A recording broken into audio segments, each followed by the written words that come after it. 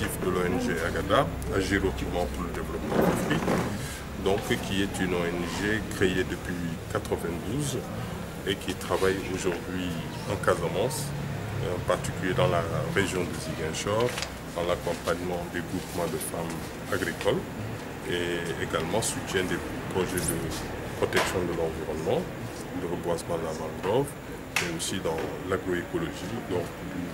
développement du maraîchage, de l'élevage biologique, euh, voilà, entre autres projets.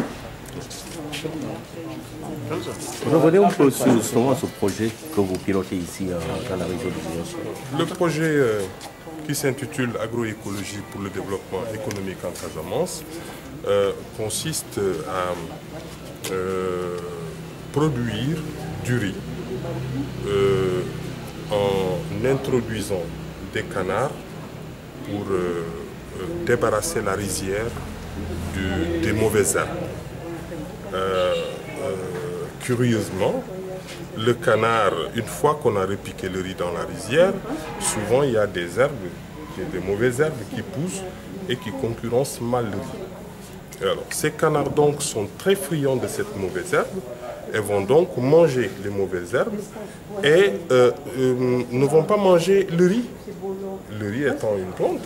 mais le canard, bizarrement, ne mange pas le riz. On s'est rendu compte que la texture du riz n'est pas appétente pour le, canard.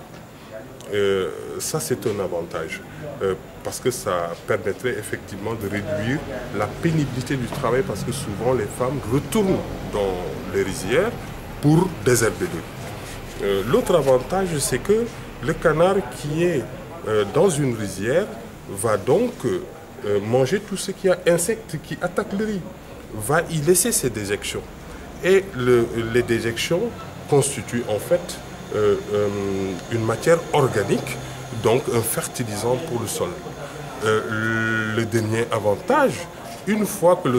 riz sort son riz, le paysan va donc sortir les canards, il va les engraisser, soit il, en tue et il en mange, il nourrit sa famille, soit il, les commercialise et il génère des revenus. Donc c'est un projet qui allie respect de l'environnement, euh, qui assure également euh, de protection euh, de l'outil, hein, de la rizière, qui n'est pas, qui n'est pas pollué, mais le paysan aura son riz et également pourra manger ses, canards pour les vendre et tirer des revenus. Vous l'avez évoqué, le problème qui se pose aujourd'hui, c'est justement comment avoir ces canards au niveau de la région de Giguinchor. Vous avez soulevé une solution tout à l'heure par rapport justement aux œufs qui euh, peuvent être euh,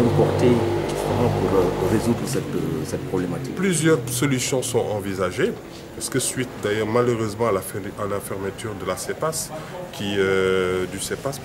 qui, a fermé ses portes et qui était censé nous produire des canards, aujourd'hui on est confronté à des difficultés pour approvisionner nos, euh, bénéficiaires en, quantité suffisante en canard. Euh, mais on a résorbé cette question parce que d'abord, on s'est rabattu un peu sur les souches autochtones, donc euh, auprès des producteurs traditionnels ou des éleveurs traditionnels. donc qui, en achetant 3 canards, 5 canards par-ci, 10 canards par-là, on est arrivé tant bien que mal à octroyer à euh, doter nos, bénéficiaires, euh, chacun environ d'une trentaine de canards qui leur, qui leur ont permis, permis de, produire et de désherber le rizière. Nous pensons que l'année prochaine, on va pouvoir soit importer des œufs fécondés si effectivement les conditions sanitaires euh, le permettent, importer des œufs, fécondés qu'on pourrait incuber au niveau des Iguinchors.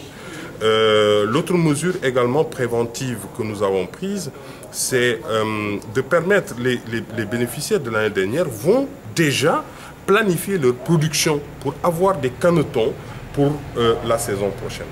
Donc nous pensons,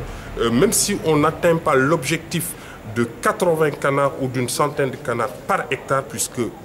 nos bénéficiaires ont quitté, ont, dépassé maintenant les 0,5 hectares, ils, sont entre 1 euh, hectare et 1 hectare 5, ils, ils vont donc pouvoir bénéficier d'une centaine de canotons l'année prochaine et à pour pouvoir les introduire dans les rizières?